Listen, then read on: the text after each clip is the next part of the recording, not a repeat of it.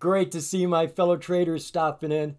I'm John Zidar. I am the host of On Top and Hot, and this is Wednesday, September 27th. Tomorrow being Thursday, I've got a live streaming event. I do this every Thursday, 4 o'clock Eastern Standard Time, the same time the market's closing down, I'm going on. Me and Taylor, my co host, we're there for an hour talking to other investors about stocks they're interested in.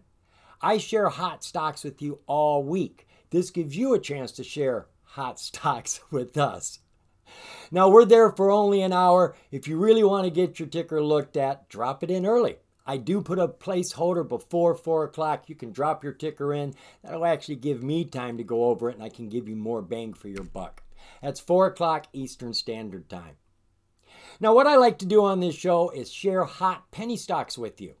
To do that, I got to go hunting. Every day I'm looking for stocks under 5 bucks on any market that have potential to make us money.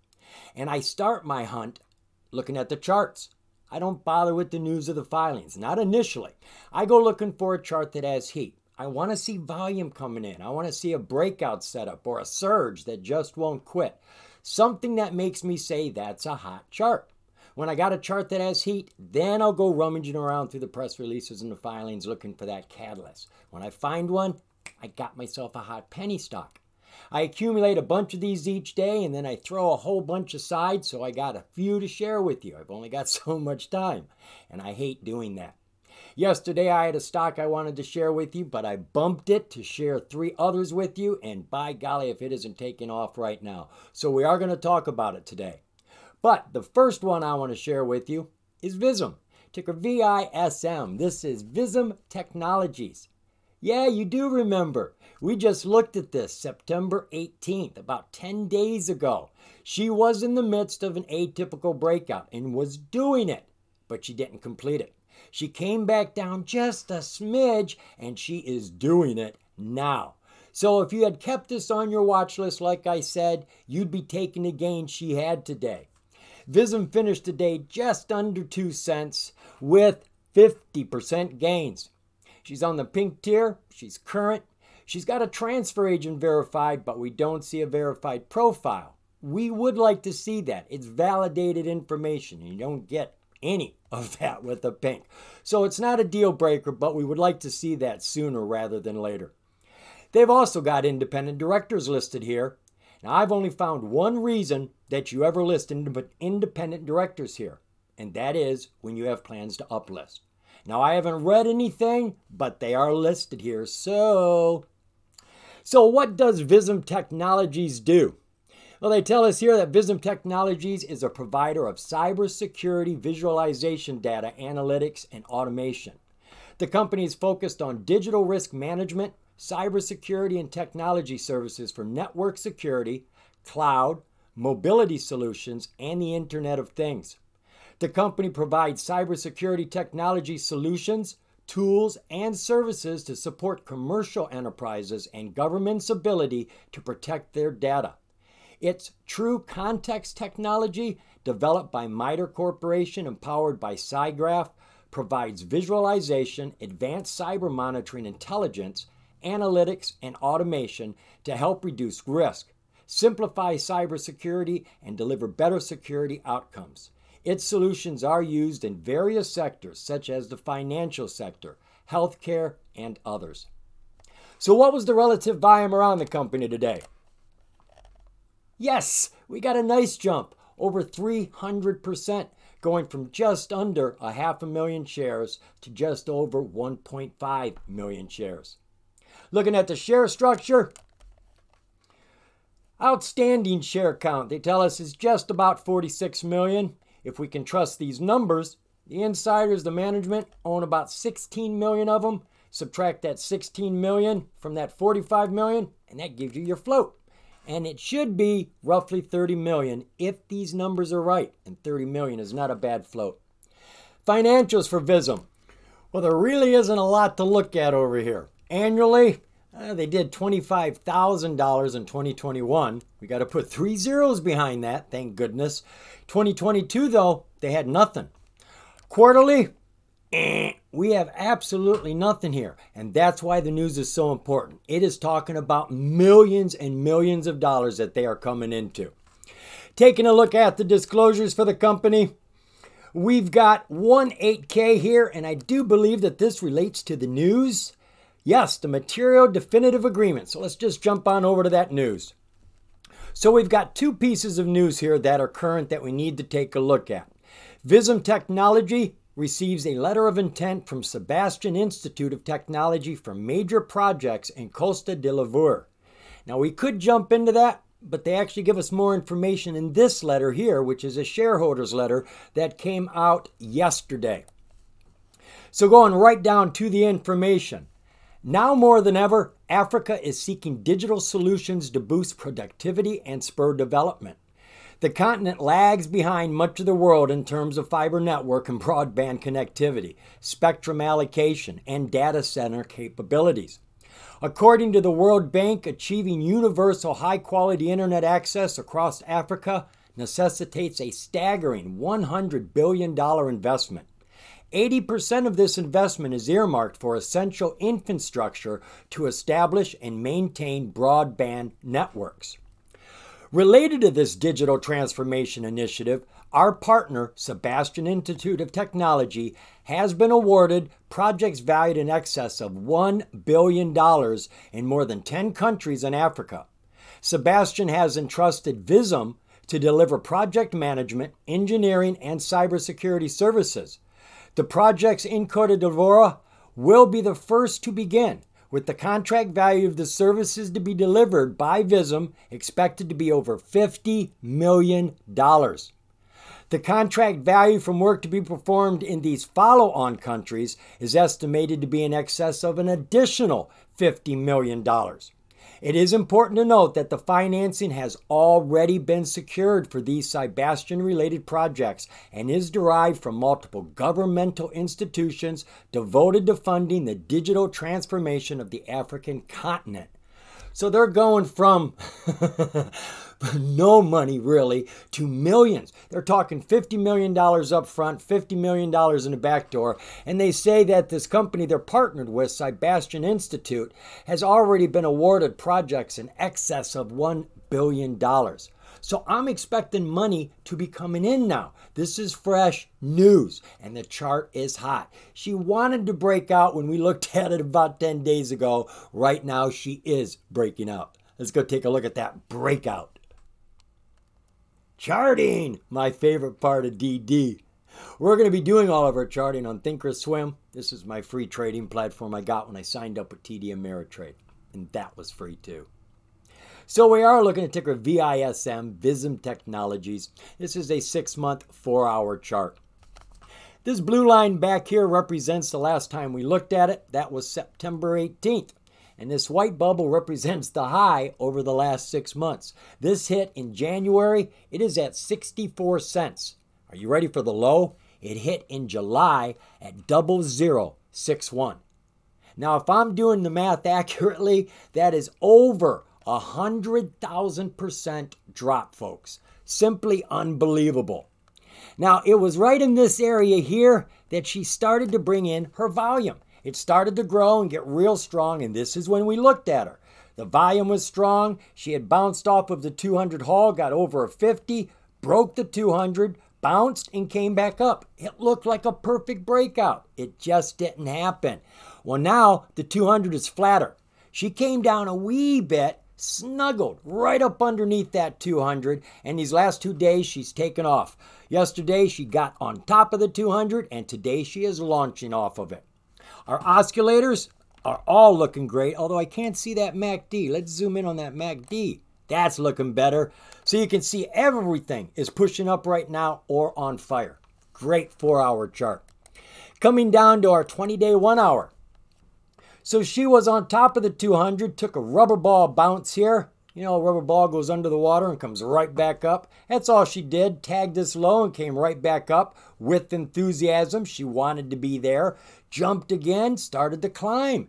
Came down to the 50 day SMA, did not come down to the 200. She's bounced off of that and she's got bigger bars climbing faster. She hit a high today of about two and a half cents and she's fallen back to right around two cents and she is above the nine day SMA.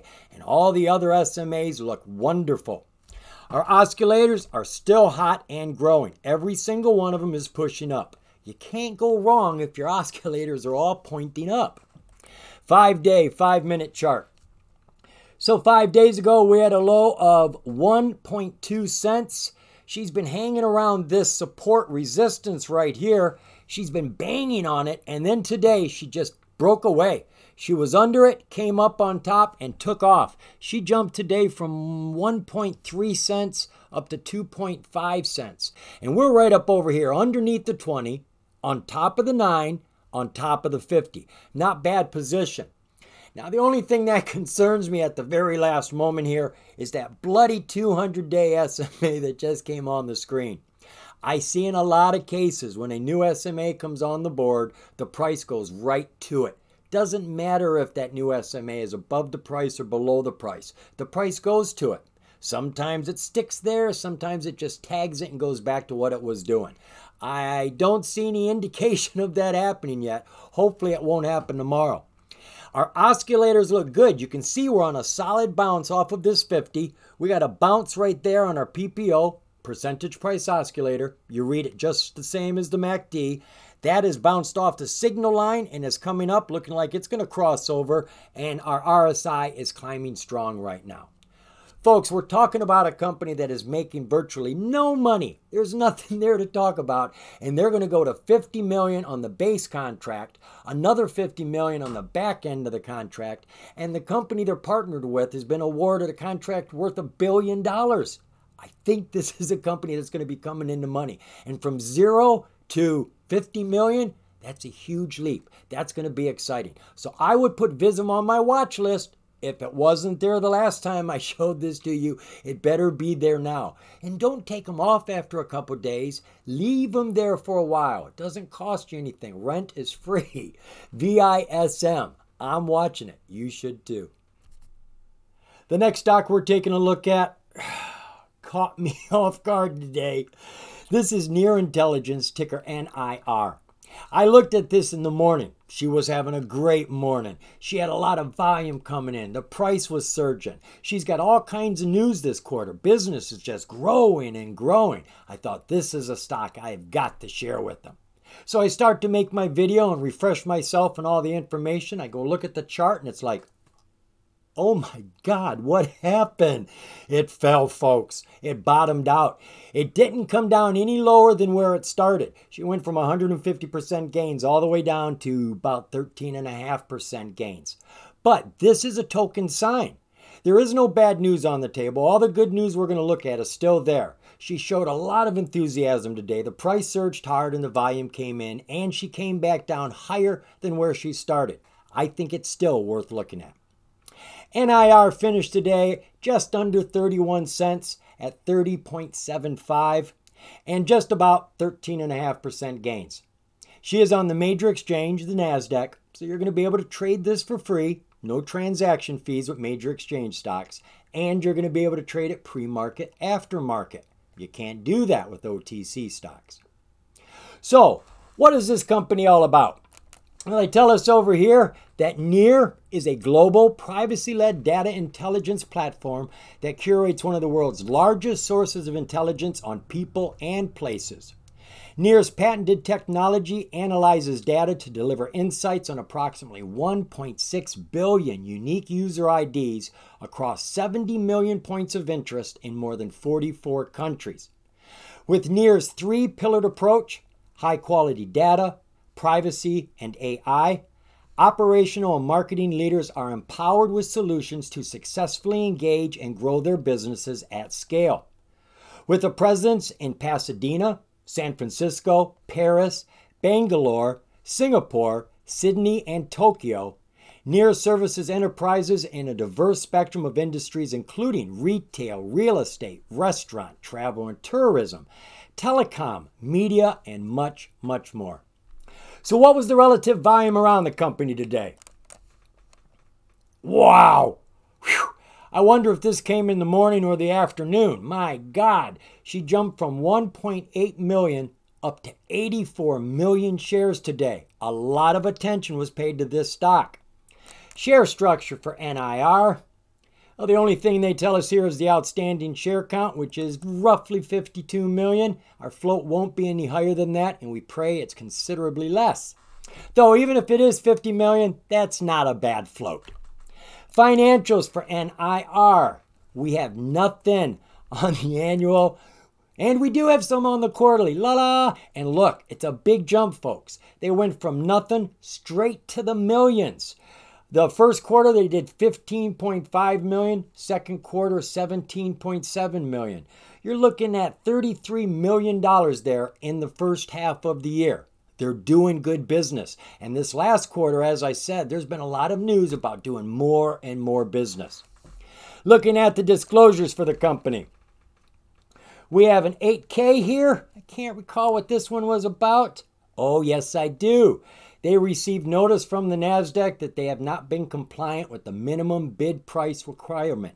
You cannot be under a dollar for too long on the major exchanges. If you don't get your price up over a dollar in a certain amount of time, they will throw you off of the major exchange right down to the OTC, and then you got to struggle to get back up. Nobody likes that. Well, they have been given a deadline of March 18th, 2024. That's how long they've got to get this price up over a dollar. They have to get it over a dollar for 10 consecutive days. It has to close over a dollar. Is there anything else there we need to look at? Oh, we've got a Form 4 here. Form 4s are filed whenever the insiders, the management, acquire or dispose of shares. Now, we're primarily interested when they buy them or sell them. And you can look right here. There'll normally be a, right here. We've got a number, but we don't have a price. Without a price, we know that they didn't pay for them. They got them in some other way. And though that's a good thing, it's really not what we're looking for. And then you've got Form 3 here. Form 3 tells you how many shares somebody on the management has, if you're interested. All right, let's take a look at that news now. So we're only going to headline this news because they've got quite a lot of it here. And I have gone back to June 30th. Next level partnership. Near Intelligence Aldi France, and Co-Spirit Media redefine personalized marketing. Earth Vision empowers clients with near intelligence platform, driving optimal market strategies and closing deals. Top global quick service restaurants supercharge their success with near intelligence platform. Gen Z and millennials twice as likely to be omni-channel shoppers according to New Near Intelligent Report. This is an AI program that analyzes anything you want it to analyze. It'll help you with business decisions. It'll help you with how to deal with your customers. It does all sorts of stuff. The company appoints Jay Angelo as Chief Privacy Officer to further strengthen its commitment to protecting user privacy. And the most current piece of news leading global commercial real estate companies representing over $200 billion in AUM rely on near intelligence for real estate analytics. You've got everybody relying on A right now, and this company's getting a reputation. And more than that, they're getting money. They just started making money this year, and so far they are over $30 million. And you can see how much business has been coming in in the last quarter. So, what do you think the next financial is going to be? Now, as I said, the chart was hot and then it was not. But we're going to go take a look at it anyways. You don't want to be too far away when you're looking at near intelligence. this is ticker NIR. This is a six month, four hour view. And honestly, we can't go any further back because that's all the chart the stock has. It looks to me it was a SPAC merger deal. The price is here at $10 and SPACs are always at 10 bucks. And it was March 24th that this ticker came live. She jumped from $10 to $22 and then fell abruptly down to the $2.30 zone. And she's been dribbling downhill ever since then. And it was on September 20th she hit her absolute low of 19 cents. She bounced up, laid on top of this 200 day Hull for many a days. And you're going, 200 day Hull? What's that? H U L L. A lot of people don't use this. I do. And here recently, a lot of stocks have been paying heed to it. The 200 day Hull is a lot like your 200 day SMA. It takes 200 days of prices, averages them all together, and then puts more credence on the current prices.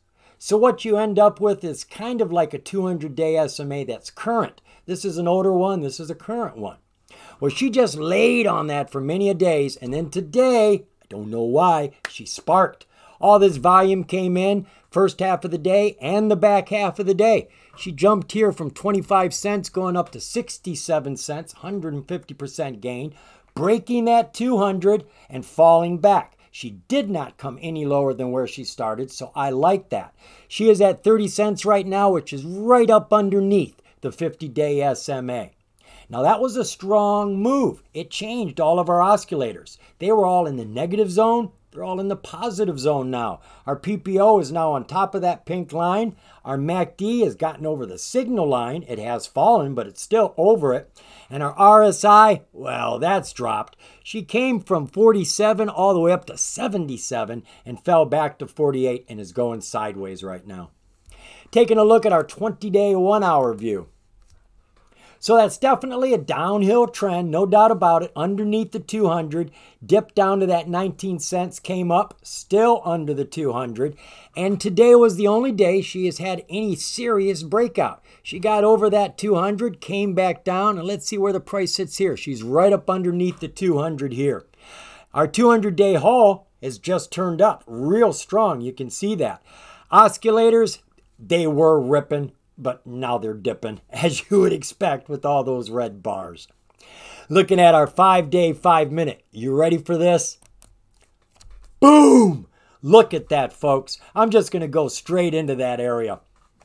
She was doing exactly the same thing she does every day for, well, how long was that? Jeez, that was up until noon. She wasn't doing anything. So the news or whatever sparked this took off at noon from that 25 cents, and by uh, 35 minutes later, she had hit this high. So in 35 minutes, there was 150% gains that she could have taken, and now she's fallen all the way back underneath the 200-day SMA, and she's starting to turn around right now. And looking at our oscillators, you can see that. We got this big blue bowl, which looks like it's about ready to come up over top of that pink line. Same thing with our MACD. It needs to get up over this signal line right here. It is bowling up and about ready to cross. Our RSI is very weak right now. Looks like it's at 40 and it's actually pushing down right now. Did we just get another mark there? Maybe. In either case, folks, I think NIR is going to generate a lot of money. I think the next financial is going to be really big. If you can get into this at a good price, I think it would be a good deal. Right now, she is showing that she can move this stock when she wants to. She can also pull it back real quick. So if you get into this and she takes a run, don't be afraid to take those gains as quick as you can.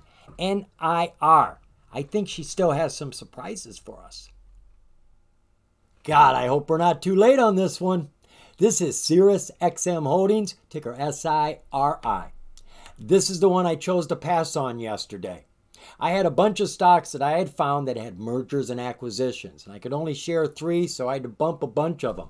This was one of them I bumped. She's got a merger sitting on the table right now, a very nice one. The only reason I passed on it was because of the charts. Yesterday, when the news came out, she immediately dropped 50 cents from $4 down to $3.50. And it's like, oh, that doesn't look good. But then she ripped back up and then she fell. And it's like, you look a bit wonky to me. So I just didn't want to talk about it because of the charts. Well, she's got all that wonkiness fixed. And today she was taking gains, and it looks like she's going to continue to grow. So Sirius finished today at $4.07 with 4.9% gains. She is on the major exchange, the NASDAQ, so you're going to be able to trade this one for free. Build those holdings up without any extra expense. Now, in case you're not familiar with Sirius, you've been living under a rock because they've had streaming music way before anybody else did. Sirius XM Holdings is an audio entertainment company. The company operates through two segments Sirius XM and Pandora. Sirius XM segment features music, sports, entertainment, comedy, talk, news, traffic and weather channels, and other content, as well as podcasts and infotainment services in the United States on a subscription basis. But of course, they've got a premier service content that bundles which include live, curated music, certain exclusive and on demand programming. They also have Pandora, which operates a music and comedy podcast streaming platform, offering a personalized experience for each listener wherever and whenever they want to listen, whether through mobile devices, car speakers, or connected devices in your hand or at home. It has a portfolio of audio businesses, including its flagship subscription entertainment service, SiriusXM, the ad supported and premium music streaming services of Pandora, a podcast network, an advertising sales group, SXM Media, and a suite of advertising technology solutions. They're doing a lot, folks, and you're going to see how much they're doing by how much money they're making. So, what was the relative volume around the company today? Yeah, look at that increase. It's only about a 100% increase, but it's on millions. That's when it really counts, right? We're going from 14 million up to 29 million shares today. Share structure for Siri. Oh my God, are you kidding? A stock on the NASDAQ has 3.8 billion shares. Holy cow. Now, I don't know what the float is. It could be a lot less than that or it could be virtually that. So there is no telling. In either case, the stock is climbing. We'll take the gains, we'll get out, and we won't worry about investor shareholder value. Financials for Siri. You ready for this? We don't see a lot of financials in penny stocks like this. Look at that, folks. Remember those three zeros we got to add behind these numbers. At the end of 2022, Sirius did $9 billion worth of business just supplying music for people to listen to. What an easy business. And they got to keep $4.5 billion of that money. Did they give us any quarterly information? They do. Oh my God. We got three zeros here too. The last quarter, they did $2.2 billion. Oh my God, folks, they do that regularly. That's what subscription based businesses do for you. You can count on the same revenues coming in regularly. Wow. All right, should we do it? Yes, let's take a look at that balance sheet. I can't help myself.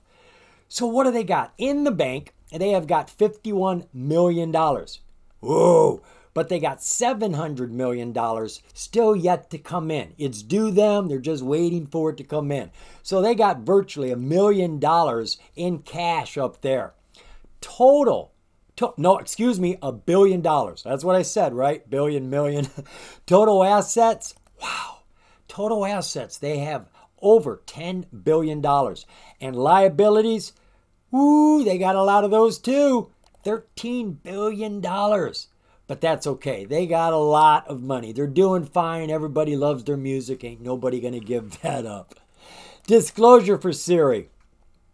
We've got an 8K here. I know what that goes to, the news, which we're going to jump in here in a minute.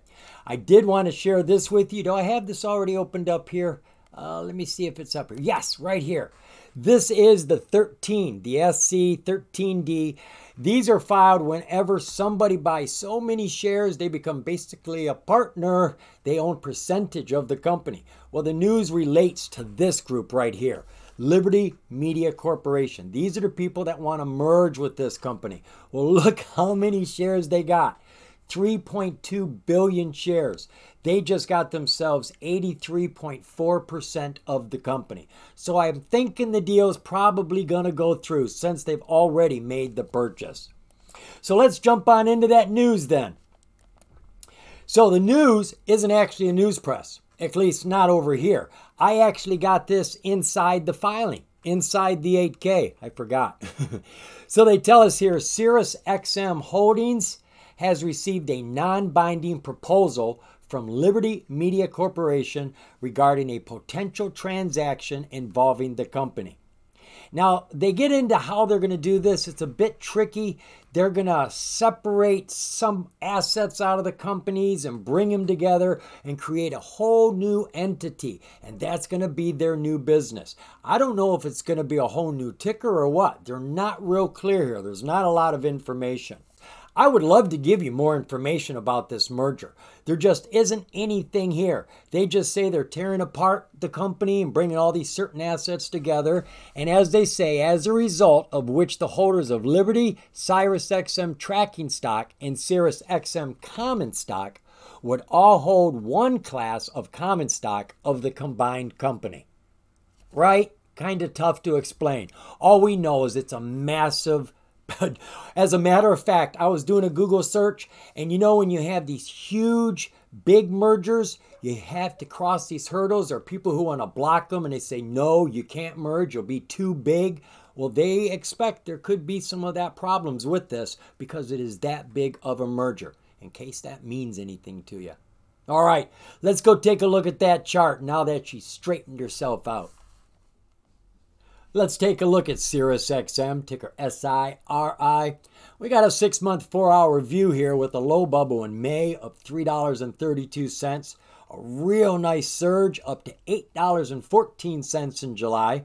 Real short lived. Fell hard and fast down to the 200, crushed that, and she fell right down here to a low yesterday of $3.45. Now, I was watching this. I saw the news come out, and that's when I seen her fall. And I said, How strange is that? I even told my brother in law about it. I said, I don't get this. Well, as soon as it fell, I threw up my Fibonacci because to me, it's worth getting into when she gets to the halfway point. Take the full spectrum of the drop, draw the Fibonacci in there, and find the middle. Well, I was waiting for her to get up to the top. Well, the back half of the day, she finally did it. Once she got up there, she started climbing. That's why the halfway point is real important. The bottom half is negative, the top half is positive. Once she got into the positive zone, she started climbing. Looking at our oscillators, looks like our PPO is just in about recovery right now. She's about ready to cross that pink line. Our MACD, let's see if we can focus in on that. Oh, yeah, we just had a crossover today, and she is now coming up to the signal line. And our RSI is climbing it, that's been climbing for two days. It was way underneath 30. Oh my God. She was all the way down here at 17, and she has picked herself up to 54. That's not bad. And these last two days, the volume been stronger for the days before. Let's take a look at that 20 day, one hour view. So she was definitely on a downhill trend here trying to get over that 200, but when it's that steep, you're not going to be able to stand on it. Yeah, you can crest over it like a wave, but you're going to come back underwater. She fell down here. She's bounced off of that the hard way, and she is right up underneath that 200 right now, looking very strong. Even after market hours, she is continuing her growth. Look at this, folks. Every one of these bars has got a higher low than the one before it. That's exactly what you're looking for for entry. Oscillators are outstanding we have our PPO crossover climbing up. Now you see that mirror image, you see that red line coming down, and you see that spread. That is a pattern I look for. This is my ADX. ADX tells you about your trend continuation. Notice that it started climbing right here. When did that line start falling? As soon as that started climbing. This changes directions every time your trend changes. Now, it could be going up right now, even though that's going up. The point here is this is an easy pattern to see. That spread is a guarantee 100% that your price is rising. So as long as I see this ADX and my PPO getting further and further apart, I know I'm on the right track. And as soon as either one of these changes direction, my trend has stopped. I may want to consider an exit. Our MACD has already crossed the signal line and growing. Our bars have gotten lighter green, but everything does look good. And our RSI is now up at 63. Now you see these blue lines I have down here in my RSI? I actually draw supports and resistances down here. I put this on a long stretch, especially on the five minute, and I will find where it keeps hitting its head, and I'll draw a line there. And then I find the bottom where it keeps hitting, and I find that static where it lives in the center. And when it goes below that living area, it's bad. When it goes above that living area, it's really good. And that's when I know when to get in and get out. This helps me to know when the stock is moving the strongest. So I do use supports and resistances down here, which I've been doing for about three months now and makes a lot of difference in my trade. So we've got three luscious stocks here, folks. They all have decent charts. They all have reasons to run. What they need is some more due diligence. I try to share enough information with you so when you look at it, you can go, well, yeah, I can see that. But if you're going to put your money on it, you need more than what I just share with you, honestly. So please do your own due diligence. It's never, ever going to hurt. Remember, the more you know, the more you're going to grow. See you, folks.